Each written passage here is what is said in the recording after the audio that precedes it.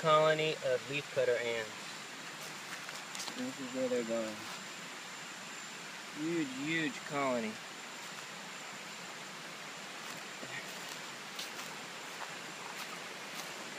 now they're going home.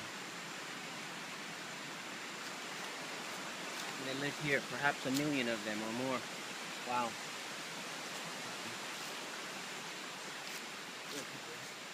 Look at the trail they make.